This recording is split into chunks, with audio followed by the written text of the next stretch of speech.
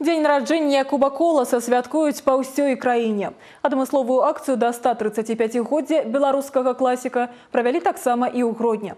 Прачытаць экспромтам вершаваныя радкі народнага песняра мог кожны жадаючы. Ах, мой вандроўнік, суцішся, нябожа. Носіш ты ў сэрцы жальбу да лячыні, а там журботны ў святым падарожжы.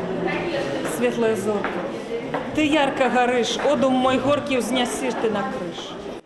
Мне ж падары ты рада. Імправізаваная чытальня разгарнулася ў фае галоўнага корпуса універсітэта імя Янкі Купалы. Да ініцыятывы пачытаць коласы разам ахвотна далучыліся як студэнты, так і выкладчыкі. Роўна 135 год таму на свет з'явіўся чалавек, якому наканавана было стаць сапраўдным народным песняром, сімвалам беларускай нацыі.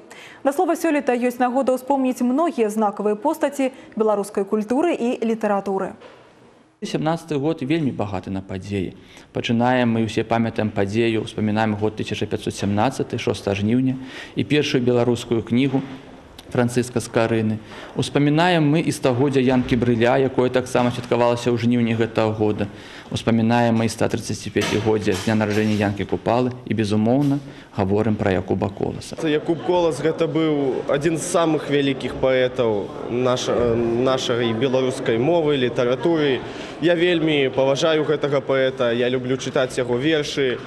Вось. э, Найбольш мне запомніўся яго э, верш пра радзіму. Вось. Ну і я лічу, што ён быў вельмі выдатны паэт нашага беларускага народа.